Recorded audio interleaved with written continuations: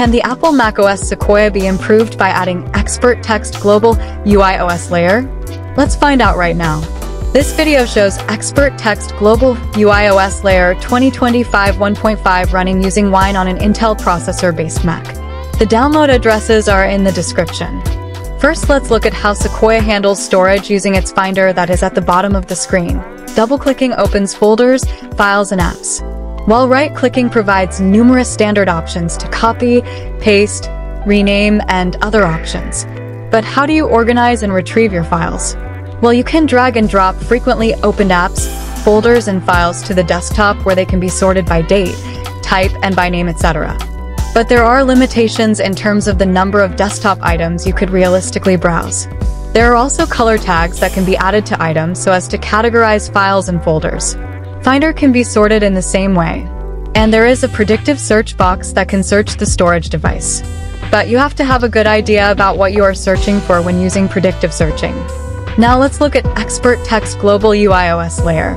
It uses a drop-down list box to browse as many as 20,000 listings that can be apps, folders, files, web addresses, or simply text. These are all stored in a knowledge base. And a knowledge base can open another knowledge base, giving even more possibilities. There is also a predictive search box that is able to identify exactly what you are searching for. Clearly, Expert Text Global UIOS layer is able to handle vastly more apps, files, and folders. With so many people today requiring large numbers of apps, files, and folders, Expert Text Global UIOS layer is their only option. Expert Text Global UIOS Layer 2025 1.5 can open Apple apps, folders, and web addresses instantly. Take a look at the programming page at www.codelexicon.us. It shows how to open multiple web addresses and folders simultaneously, and how to do many other things beyond the scope of Apple macOS Sequoia and other OSes.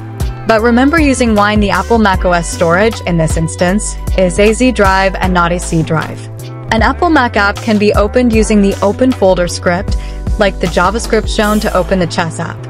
Basically, Expert Text Global UIOS layer could help when using Sequoia at a professional level. But don't forget, Expert Text Global UIOS layer runs alongside Sequoia and not without it.